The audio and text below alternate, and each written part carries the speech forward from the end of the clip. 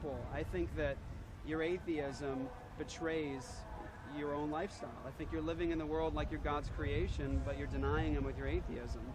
And I, I would encourage you to investigate that, because otherwise, look, look, um, Taylor, Tyler. Tyler, Tyler, Tyler, you're gonna be you're gonna be in the position where you're gonna go. For me, altruistic behavior, and the guy comes along goes, but for me, right now, it's hurting you. And then you say, but you can't hurt me. He says, why not?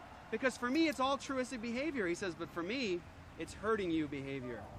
And then what I'm saying is, There are people like that in I know there is, but is that evil? Again, relative to me, that is Right. evil, but, But to if he- him, he- that's fine. If he hurts you, I wouldn't like that. I would stab him back. okay, but because because he's offending you in some way, is he hurting you in some way? Do you have some value or dignity he's he's hurting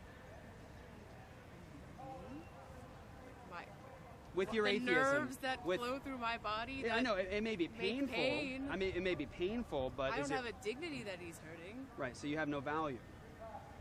Yeah, yes. You do or don't? I do not have value. I'm irrelevant to the universe. I'm just a speck of dust.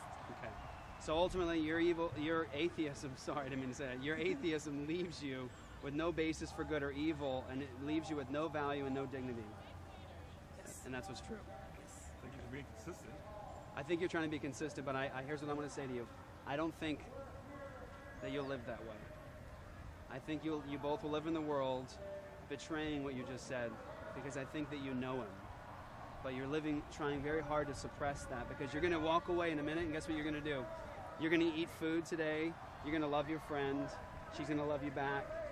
You're going to you're to drink water. You're going to take care of friends. You're going to pay your bills. You're going to live as though you have value and dignity and worth and that others matter too. But your atheism will deny that all of your life.